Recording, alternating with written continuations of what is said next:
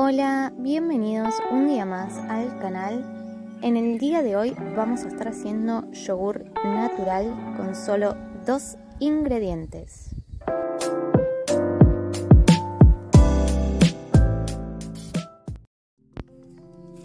Lo único que vamos a estar necesitando para esta receta es una leche y un yogur de base. Ahora sí, comencemos.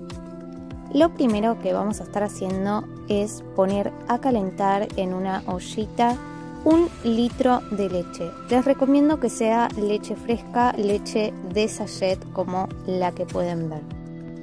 Mientras dejamos la leche al fuego, vamos a ir pasando el yogur iniciador a un bowl y vamos a ir preparando los recipientes para guardar y hacer fermentar nuestro yogur.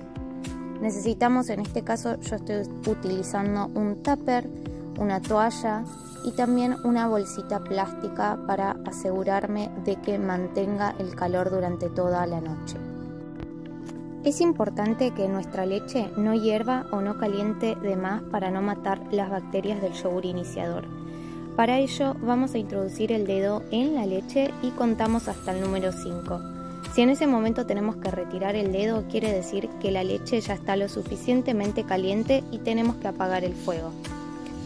Ahora vamos a pasar a introducir unas cucharadas de la leche tibia en el yogur y lo mezclamos muy bien. Ahora vamos a pasar el yogur a la leche y volvemos a mezclar asegurándonos de que quede todo bien bien homogéneo.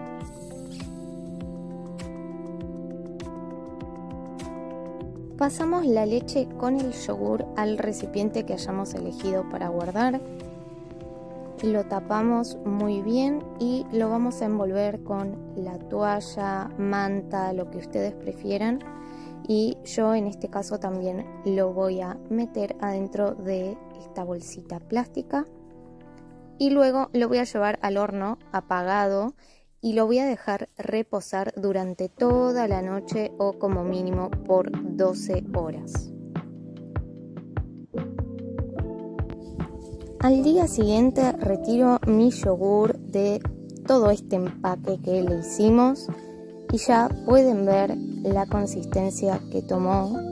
Queda espectacular pero acá no termina.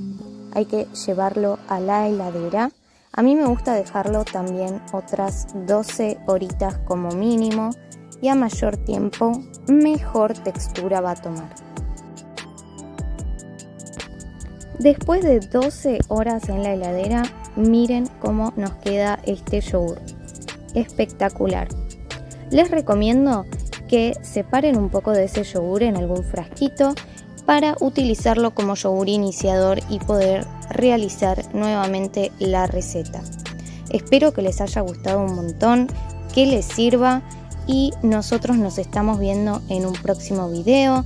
Te invito a que te suscribas, actives la campanita de notificaciones, así no te perdés ninguno de los videos que se van a estar subiendo al canal. Bye.